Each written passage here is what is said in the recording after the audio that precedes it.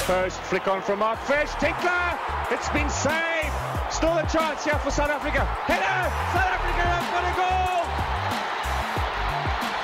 Brilliant goal from Mark Williams. Welcome again. Yeah, thank you. Thank you for uh, having the opportunity to talk a little bit about football. It's my pleasure, and obviously CAF TV is pleased to have you on board.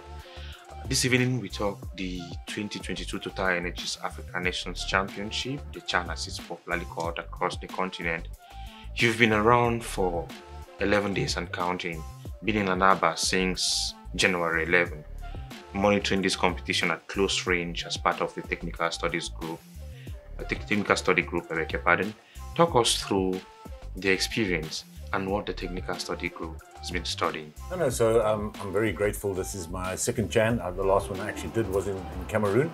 Um, being here, obviously, the, the job of the technical study group is to report back to um, Raul Chipenda, who is the technical director of CAF, uh, the way the game, the way we see the game being played, uh, certain things that are happening uh, on the field, and um, you know how teams perform and how certain individual players perform as well. You know, at the end of the day, uh, at the end of the competition, we'll have a, a Chan team, uh, the best team, best 11, and you know, you give uh, recognitions to players and, and obviously to teams.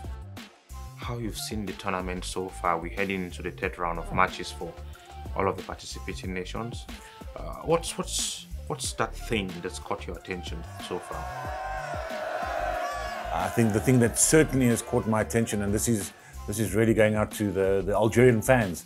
I think the, the way they enjoy football, the way they've supported the teams, you know, especially at, at our stadium, you know, um, the other night, you know, Algeria's not even playing, but the, the fans are there, they're in the rain, they're singing, they, they're enjoying the occasion. And so their love of football um, is very welcoming to, to experience for me, um, you know, coming from the most southern part of Africa to the most, well, one of the most northern parts. So um, the, the fans and their, their enjoyment and their love of the game is something that certainly caught my eye.